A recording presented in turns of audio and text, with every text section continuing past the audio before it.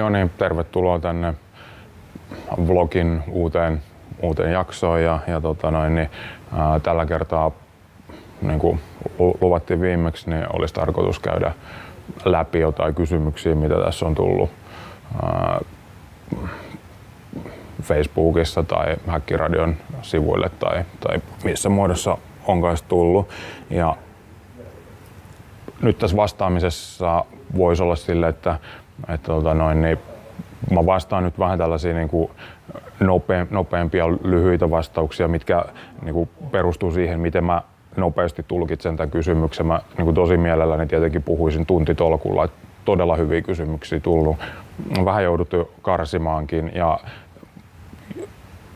todellakin kiitos kaikille, niin kuin todella hyviä kysymyksiä tullut. Ja tekisi itse asiassa mieli sille, että, että tota noin, niin, ää,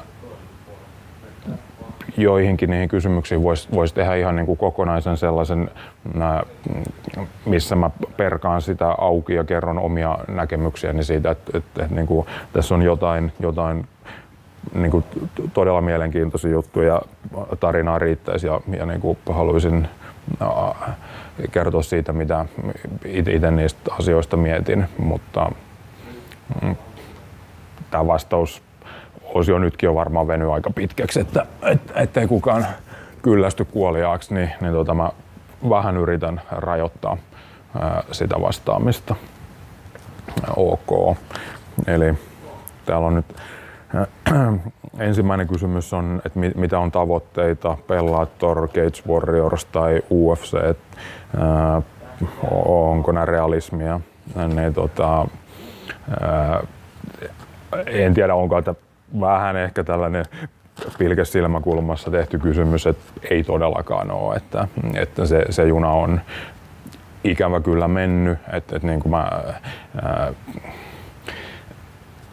hyvä, jos mä oon kilpailukykyinen kotimaan tasolla. Ei, ei, niin kuin, vaikka vapauttelu on nuori, nuori laji, niin, niin se taso on jo niin korkea, että ei voi pitää kolme vuotta taukoa ihan kaikesta kamppailuurheilusta ja urheilusta tulla takaisin ja alkaa miettiä, että pääsisinköhän mä UFC:hen. Et, et, niin kuin, mä teen tätä ihan vaan niin kuin, sen takia, että mä nautin, nautin tällaisesta elämäntavasta ja, ja tota noin, niin, ää, tämä tuo mulle tosi suurta iloa, iloa ihan niin kuin tämä päivittäinen, päivittäinen harjoittelu. Ja, ja tota noin, niin, mutta koska mä oon kuitenkin aika kilpailuhenkinen, mä haluan päästä sinne kilpailuihin testaamaan. Ja mä nautin myös siitä ihan yhtä paljon, mitä siitä päivittäisestä harjoittelusta, niin mä haluan päästä niin kuin jotain suurin piirtein oman tasoisia niin vastaan, vastaan niin kuin kokeilemaan niitä asioita, mitä mä harjoittelen ja liikeratautan itteeni siinä perusharjoittelussa, mutta No tietenkin sellainen, jos nyt tässä, tässä niin kuin, äh, vähän herahtaa vesikielelle, että voi vitsi, olisi, olisi kyllä hienoa, niin, niin tuota, mm, voisihan olla tietenkin, että joku loukkaantuu ja halutaan joku mätisäkki viikon varoitusajalla ja sitten, sitten niin kuin ollaan yhteydessä muuhun, niin joku tällainen, tällainen niin kuin utopia ehkä olisi mahdollinen, mutta mut, tota noin, niin, tavo, mun tavoitteet ei todellakaan ole siellä. Et mun tavoitteet on ää, nauttia elämästä ja kehittyä ihmisenä ja kehittyä kamppailuurheilijana ja, ja jotain tällaista vanhoja ukkoja höpö, höpö juttuja. Sitten jotain asioita, mitä on pakko tehdä ennen ottelua. Mm No tietenkin se mm, ottelupäivän rutiinit tuo sellaista turvaa, että, että, niin kuin, että kun sä teet ne suurin piirtein, mä en tiedä tarkoittaako sitä nyt jotain ää, kengännauhojen solmimista, solmimista tietyssä järjestyksessä, mutta että ää, periaatteessa ää, sen ottelupäivän rutiinit, mä, että siinä olisi niin kuin tietyt asiat, mitä, mitä tota noin, niin, tapahtuisi.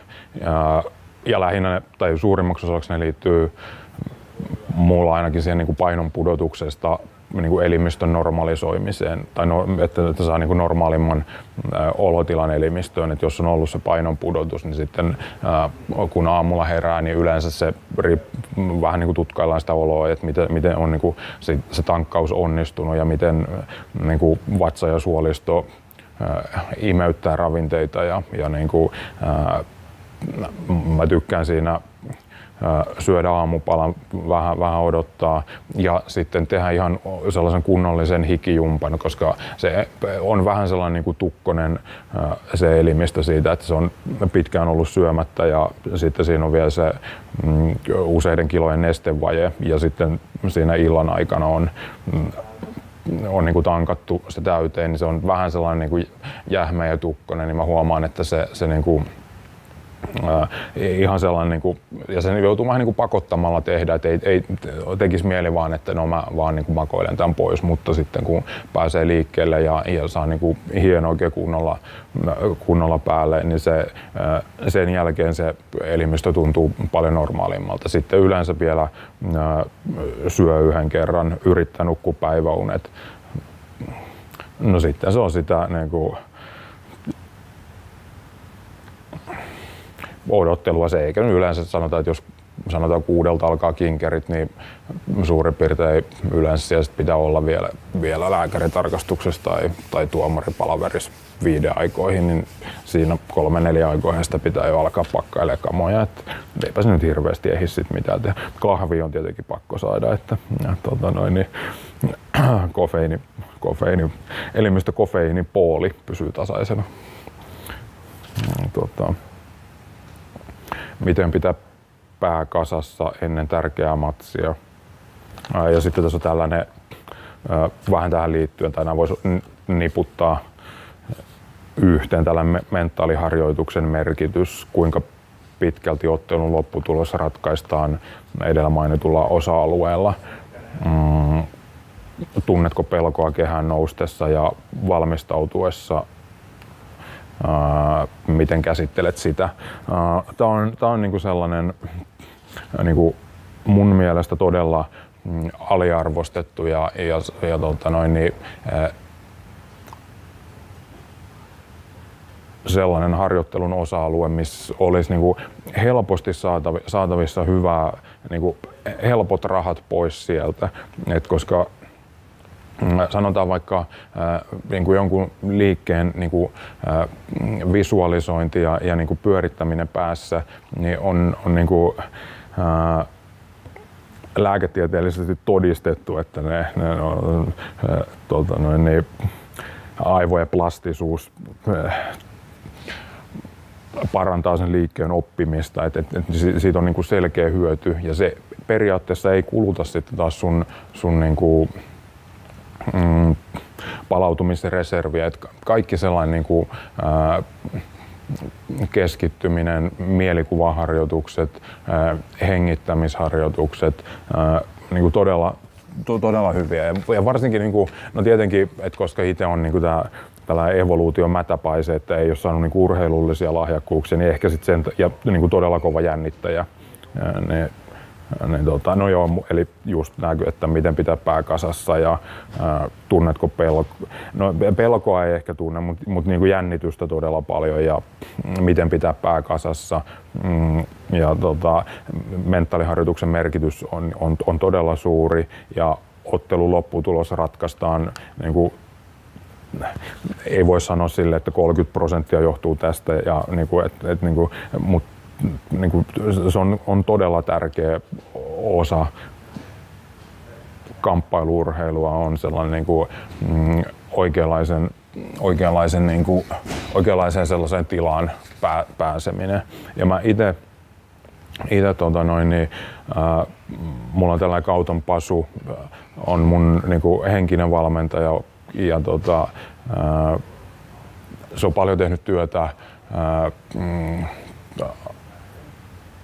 Amerikassa, on tällä hetkellä opettaa kauppakorkeakoulussa ja, ja tota noin, niin, sitä ennen se on ollut jonkinlaisena tällaisena niin kuin, yritysvalmentajana ja, ja niin kuin, mm, so, sotilaiden tällaisena niin kuin, ää, miten, miten käsitellään niin kuin stressaavia tilanteita ja, ja tota noin, niin, ää, miten pystyy olla niin sellaisessa äärimmäisessä stressitilanteessa hallitsee itsensä, pitää hengityksen, hengityksen kasassa ja, ja tota noin, niin,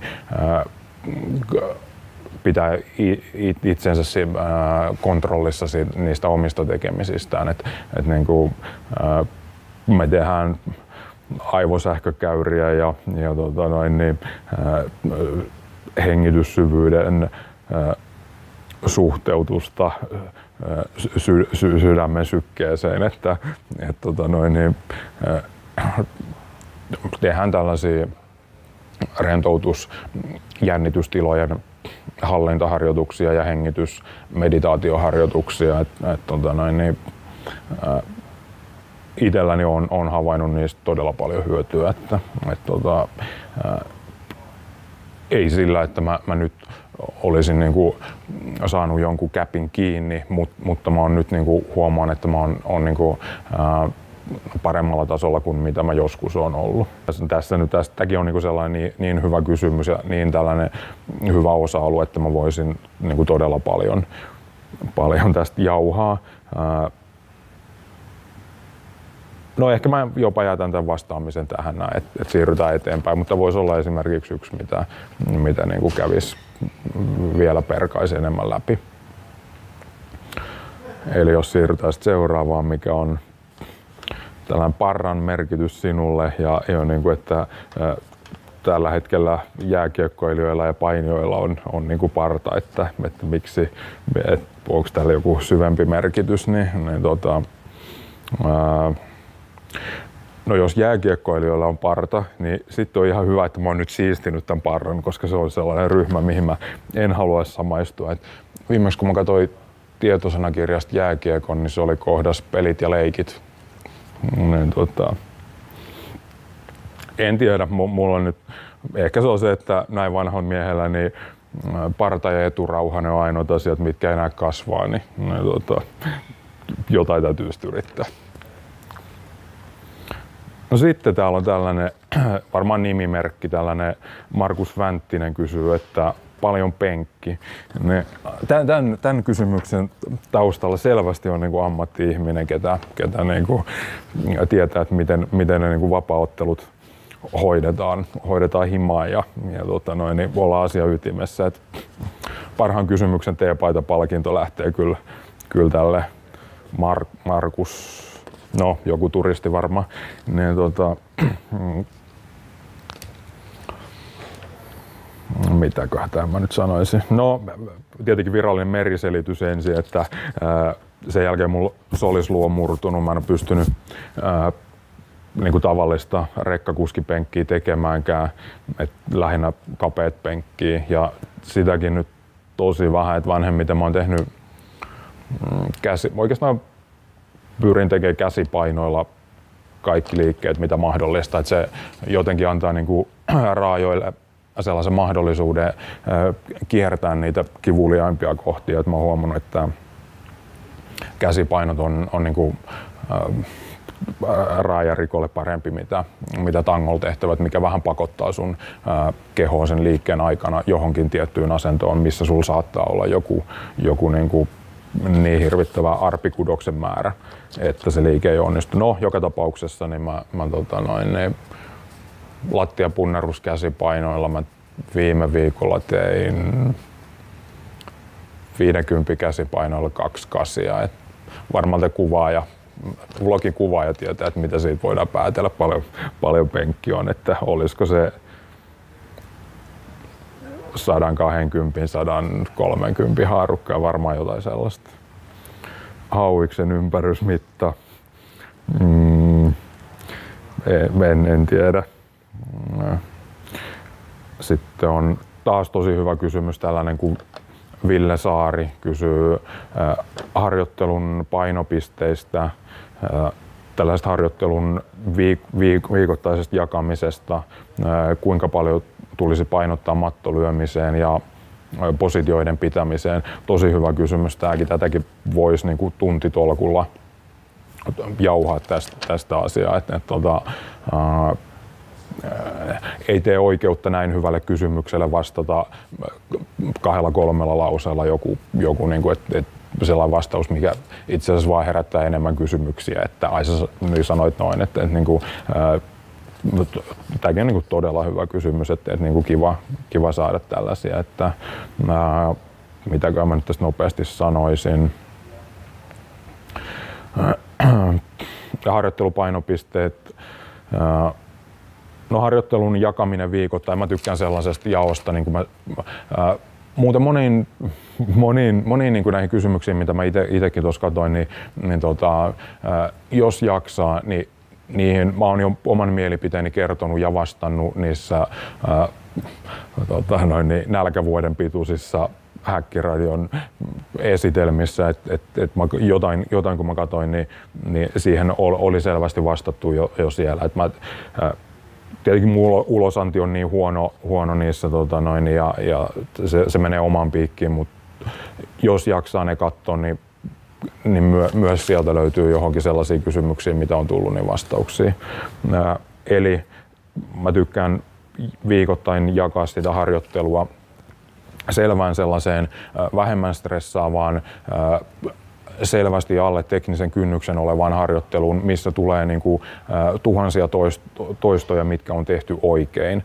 Eli se olisi, miksi sitä nyt sitten kutsuisi niin kuin sellainen volyymipohjainen, selvästi teknisen kynnyksen alapuolella oleva äh, määräharjoittelun mikrosykli. Eikä sen tarvi olla vaikka maanantai, tiistai, keskiviikko. Se voi olla vaikka kymmenen päivää tai viisi päivää. Tai jos mä vaikka menisin johonkin mm, leirille, niin mä ottaisin siellä jonkun, jonkun niin kuin, tota noin, niin, mm, pystyottelutekniikka klinikan, että siitä tulisi määrällisesti tosi paljon ja siinä tulisi tosi paljon onnistumisia. Sitten siellä, siellä tota noin, niin kahden navan toisessa päässä olisi taas sit sellainen niin kuin selvästi stressaava, missä mä yritän mm, niin kuin tehoon ja intensiteettiin ja sellaisen niin kuin teknisen kynnyksen ää, tasolla tai niin kuin siinä, että se vähän on yli ja vähän alle oleva, oleva niin kuin sparriin tai kilpailuun perustuva mikrosykli, niin mä, mä tykkään tällaisesta jakamisesta, niin silloin se ei puuroudu, vaan, vaan on niin kuin selvästi mm, tätäkin voisi avata tosi paljon, mihin, mihin tämä niin kuin, ää, Joo, ei, ei tee niinku oikeutta näin hyvälle kysymykselle vastata näin lyhyesti, mutta lyhyt vastaus on toi. Mm, painopisteistä oman pelikirjan, josta nyt tarkoittaa, että vaikka miten, miten mä jaan harjoittelua, niin, niin silleen, että No joo, ja sitten tähän, että kuinka paljon tulisi painottaa mattolyömiseen, positioiden pitämiseen. Tämäkin on, niin kuin, t- tässäkin voisi vois niin kuin, ää, tosiaan jauhaa tuntitolkulla. Otetaan nyt vaikka, jos tehtäisiin tällainen niin kuin tilastomatematiikan ää, niin kuin joku analyysi, vaikka UFC-otteluista terveisit Tuomas Murdokille, kenen, kenen niin kuin suunnitelma joskus oli. Ää, eli niin kuin, missä, missä ää, tilanteissa siellä ottelussa ollaan kaikkein eniten.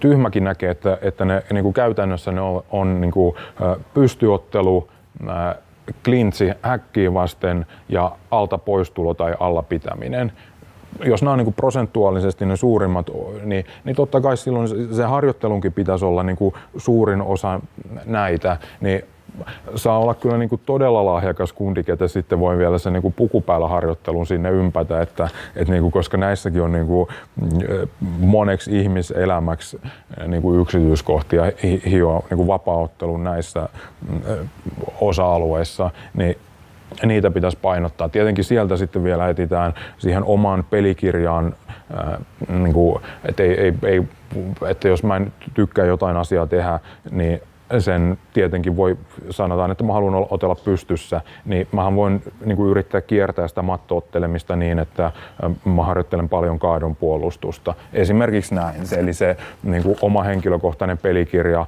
määrittää sitä painopistettä, mutta sitten myös niin kuin, niin kuin tapahtuman säännöt ja, ja laji määrittää sen, niin kuin, m- miten niitä suurin piirtein kannattaisi prosentuaalisesti jakaa niitä ä, mattolyömistä, positioiden pitämistä ja mitä, mitä tässä nyt sitten, niin eli siltä pohjalta tätä voisi lähteä avaamaan, mutta jälleen kerran tosi hyvä kysymys kuinka monta treeniä tulee viikkoon ja paljonko niistä on salia? ja erinomainen kysymys jälleen. Eli, eli niin kuin ymmärretään se, niin kuin, mistä niin kuin vapaaottelussa on kysymys, niin salilla käymisestä. Mm. keskiarvollisesti tulee 8-10 lajiharjoitusta viikkoa. Tietenkin sitä keskiarvoa laskee, että jos on vaikka ö, ottelu, esimerkiksi nyt mitäkään kuuta nyt eletään, mutta taisi olla tässä kuussa, mulla taisi olla ottelu, niin tota, mm, otteluviikko on mahdollisimman kevyt, niin siinä nyt käytännössä tulee yksi harjoitus plus sit ei ottelu oli lauantaina, jos sunnuntai oli jumpat kolme harjoitusta, niin sehän heti laskee sitä keskiarvoa. Mutta mut niinku, sanotaan nyt ihan varmaan, varmaan niinku absoluuttisesti 6-12 harjoitukseen menee, menee niinku aina. Ja sitten siitä vielä niinku sellainen kahdeksan tai kymmenen harjoitusta viikossa. Ja, ja taas toi, niin kuin, jos toi sali nyt tarkoittaa punttisalia, niin kuin tietenkin se tarkoittaa, niin tota, tota, tota, siinäkin keskiarvoa laskee se, että vaikka on ottelu, niin otteluviikolla ei, te, ei, ei, niin kuin ei, ei, ei nostele ja ei oikeastaan sitä niin kuin kaksi viikkoa ehkä ennen sitä ottelua ei, ei, ei nostele, mutta koska se on niin kuin tär, niin kuin tärkein oheisharjoittelun muoto on niin kuin, ää, sellainen voimaharjoittelu, mikä ylläpitää sitä lihaskudosta. Ja jälleen kerran, jos katsoo niitä hienoja esitelmiä, niin, niin se, se määrä lihaskudosta, minkä, mikä vaikka esimerkiksi mulla on, niin mä oon ha, hankkinut sen noin kahdella viiva kolmella viikkoharjoituksella silloin joskus, kun mä olin 20, niin nyt sen ylläpitämiseen, mikä on ainoa tavoite, niin riittää sellainen yksi harjoitus viikkoon, yksi harjoitus kymmeneen päivään. Ja, tota, eli sellainen niin kuin volyymin puolittaminen kautta yksi kolmasosa siitä volyymista. Eli lyhyesti yksi punttis viikkoon viiva kymmeneen päivään suurin piirtein. Ja sitten hyvä tällainen herrasmiehen, herrasmiehen kysymys, eli kirjasuosituksista. Ja ilmeisesti, ilmeisesti tuota noin, niin, Linkola ja Heming, Hemingway on niin kuin jo käyty tässä läpi, mitkä, mitkä on niin kuin, varsinkin Vanhus ja Meri on, on niin kuin, tai oikeastaan mä niin kuin nostaisin sieltä Hemingway tuotannosta vain sen vanhuksen ja meren, että, että tota, nykyään mä vaan näen unta leijonista.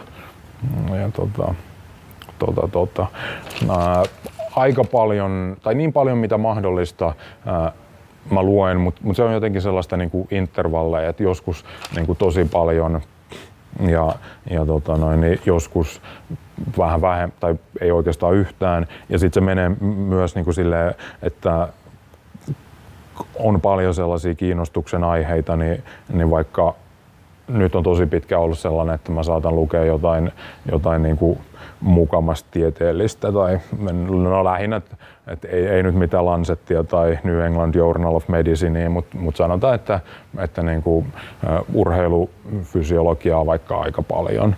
Mm, mä tykkään poliittisesta historiasta, biologiasta, kaikki tällainen niin kuin käyttäytymis, evoluutio,